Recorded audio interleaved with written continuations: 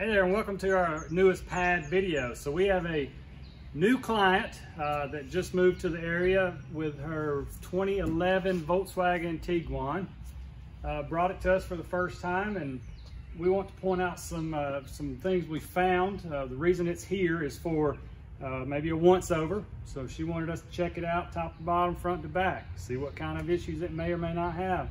Uh, it has a, this vehicle has an intermittent oil pressure light in the instrument cluster. Uh, vehicle also has a check engine light with a P0299 fault code. It's uh, turbocharged under boost condition. Uh, so anyway, we, uh, we have some good findings. We want to show these to our client. Uh, so we're going to put this on video. We're going to send it to her directly and it may be helpful to our YouTube viewers as well. So let's start out. Two liter turbo, underside here. We've removed the pan on the floor. From the pan on the floor, you can see coolant. That's the reason it's not on the street or the driveway because this pan's doing its job and catching it. So since we've removed the pan, you can see here on the floor where the Tiguan has dripped coolant or antifreeze just in this short amount of time. Wow, look at that.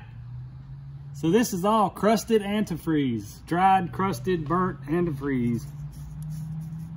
So you can see it See it right here about to drip. Okay. So where's this coolant coming from? Well, on the front side of the engine here, under the intake manifold, it's buried, but there is a actual water pump there, under there, belt-driven water pump. This is an auxiliary water pump that's commonly failed, but this particular one looks dry and looks like it has not at this time. So we trace the coolant way up in there and we may be able to show another angle from the top, but trust me, it's back in there and it's deep. All right, so we got all this coolant. Here's your typical uh, signs of dried coolant. Uh, we have a little bit of an oil leak that we wanted to discuss. We can see engine oil right here. Well, this is coming from or as a result of the rear engine crankshaft seal, rear main seal, some call it. So we would actually remove the transmission from the vehicle, remove the flywheel, replace the seal, put it all back together. But that's the culprit of the leak. So it starts inside the this area here that we can't see, drains out here, and while going down the road, the wind blows it back this way. So that's why we have the residual oil residue back here. This right here, I have no clue what that is. It, first my thought that came to mind was maybe, you know, this car ran over some roadkill or something and that's what little bit was left of it. I don't know, not real certain. Um, we also have a the right front or passenger side axle. You can see this flange or cover that comes with them. Um, look, it's broken. So I don't know if, if the vehicles ran over something and at the time, you know, it broke this, but who knows? Um, doesn't seem to be an issue at the moment. Just wanted to point it out. Um, seems to be okay, living, living along with it. Um, so also something else I want to point out that's very common on these Tiguans are these control arm bushings. These are lower control arm bushings. There's the driver's side, passenger side. I kind of set the lift arm under them, but I'm gonna get a pry bar.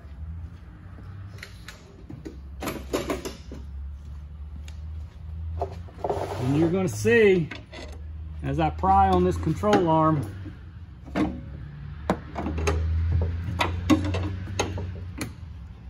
you can see the bushing, how it's torn. It's torn very badly up here, but it's actually separated, torn in half completely down here. You can see there. Maybe a little better view. But anyway, both sides are torn. This one as well.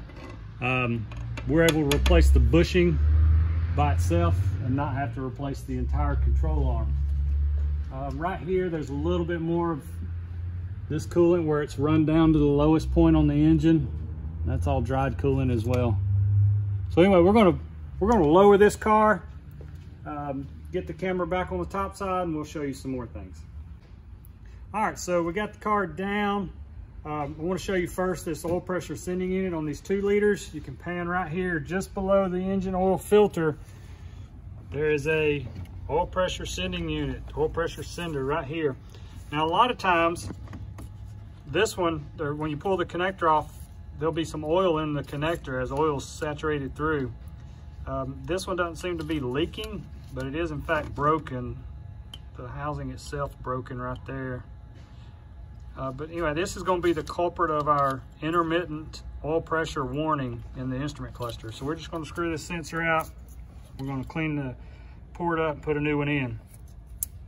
All right, so let's talk turbocharger. So this car has been diagnosed previous for a faulty turbocharger, and they were right. It was an accurate diagnosis, but when it came to me, I want to say, how can I prove it? How can I prove that other than just telling our client it needs a turbocharger? All right, so what I've done, I took the time to remove this intake boot, this intake tube. It mounts right here. Um, I've removed that. I've also uh, removed the the uh, the oxygen sensor before the catalytic converter, and that gave me access to the uh, exhaust pipe, which is right behind the turbocharger. So what I've done, I've set up our camera. We've got a bore scope camera in there and I have the wastegate open.